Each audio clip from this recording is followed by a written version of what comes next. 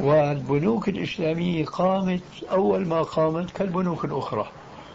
ثم لما بدأت الناس الطالب ببعض الأحكام وتطبيقها صاروا بقى المسؤولين المدراء في البنوك يحاولوا يستنبطوا أو يستفتوا عن بعض المسائل فيجدون وأنا لا أكتمك يجدون من يفتيهم بآراء الرجال وليس بقال الله وقال رسول الله صلى الله عليه وسلم وهنا يكمن الخطر.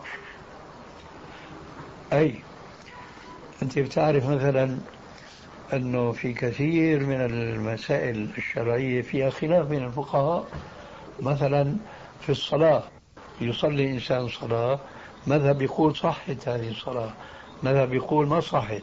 في عندك طبعا كما يقال خلفية من المعاني هذه. آه واحد توضأ واحد يقول لا وضوءه ما صح ثاني بيقول صح وهكذا. كذلك يوجد في المعاملات مثل هذا الاختلاف. وأنا كنت اتصلت مع أحد مؤسسي البنك الإسلامي هنا وجرى نقاش بيني وبينه طويل فعرفت أنه هو بيلتقط الرخص. بياخذ وين في قول.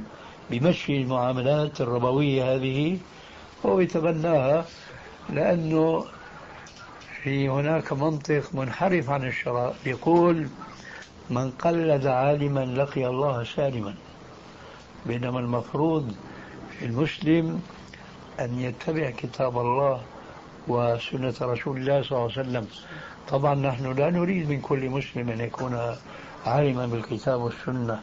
لكننا نريد من كل مسلم أن يسأل أيوة ويعرف حكم الله حكم رسول الله في أي مسألة يريد أن يتعبد الله تبارك وتعالى بها.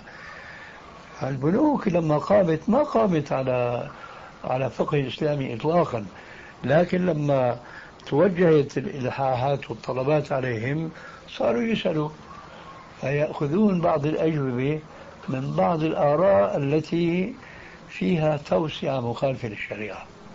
لأن هذه الآراء لم تقم على الفقه المستقى من الكتاب والسنة وإنما قامت على تسليك مصالح الناس.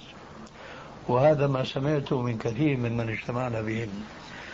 ولعلنا إن شاء الله في لقاء آخر نسمع بعض المعاملات الأخرى لننظر فيها في منظار الشرع أيضا ونتبين هل هي مما يساعد المسلمين على آه، تحسين معاملتهم بالبنوك أو مفاصلتهم.